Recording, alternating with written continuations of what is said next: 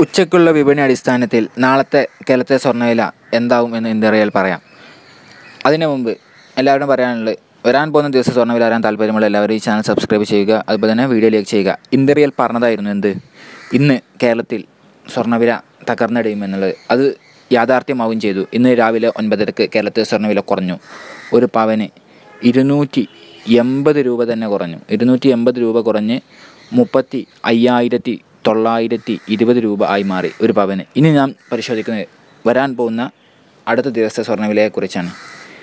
ഇപ്പോൾ ഉച്ച വിപണി അടിസ്ഥാനത്തിൽ സ്വർണവില മെല്ലെ മെല്ലെ ഉയർന്നു വരുന്നുണ്ട്. പക്ഷേ ഒരു എൺപത് രൂപ പോലും കൂടുന്ന അവസ്ഥയിലേക്കായിട്ടില്ല അതുകൊണ്ട് ഈ ഉച്ച വിപണി അടിസ്ഥാനത്തിൽ ഈ ഒരു മണിയോട് അടുക്കുമ്പോൾ വിപണി അടിസ്ഥാനത്തിൽ നാളെ കേരളത്തിൽ സ്വർണവിലയിൽ മാറ്റമുണ്ടാകാത്ത നിലയിലൂടെയാണ് വിപണി പോയിക്കൊണ്ടിരിക്കുന്നത്. വീഡിയോ ലൈക്ക് ചെയ്യുകയും ചാനൽ സബ്സ്ക്രൈബ് ചെയ്യാനും ആരും മറക്കാതിരിക്കുക. Thank you thank you so much for watching this video